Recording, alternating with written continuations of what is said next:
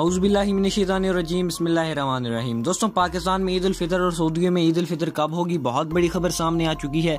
तो इस वीडियो के अंत तक लाजमी देखिए, चैनल पर नए सब्सक्राइब कर लें। चलिए दोस्तों, आज की वीडियो की जाने बढ़ते हैं। दोस्तों, जैसा कि आप जानते हैं कि पाकिस्तान में सबसे पहले उनतीस रोज़ों का जो है इम्कान था कभी इम्कान था कि पाकिस्तान में और सऊदिया में ईद भी एक साथ होगी और उनतीस रोज़े होंगे। उसके अलावा तीस रोज़ों का भी इम्कान था। अब हम आपको मुकम्मल तफसील बताएँगे, क्या वाकई वो इम्कान सच साबित हुआ है या रोज़े तीस होंगे।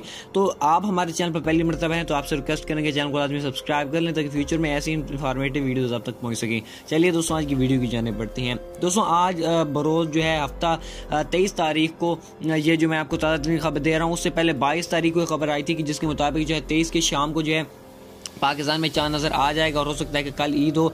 या इसी तरह की सूरत हाल हमारे सामने देखने को आ रही थी और बहुत सारी खबरें हमारे सामने आ रही थी और कुछ लोग कह रहे थे कि इतने तक जो है शिद्दत ज़्यादा जहाँ पहुँची थी कि मुफ्ती मुनीबर रहमान साहब का जो था या उनकी जगह पर जो रिप्लेस हुए हैं चेयरमैन साहब उन्होंने उनका कहना था कि उनतीस रोज़े होंगे, जबकि सऊदिया कह रहा था कि तीस रोज़े होंगे।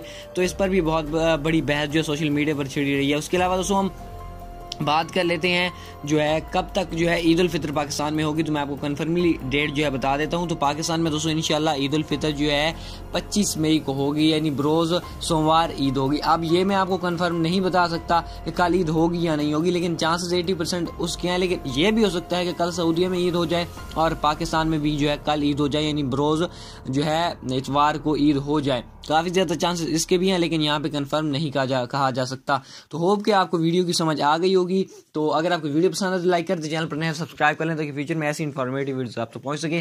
नेक्स्ट वीडियो तो वेट कीजिएगा, मिलते हैं नई वीडियो में। तब तक के लिए अपने बहुत सारे ख्याल रखिएगा तो हमें याद रखिएगा। मुझे दीजिए इजाज़त, अल्लाह हाफिज़।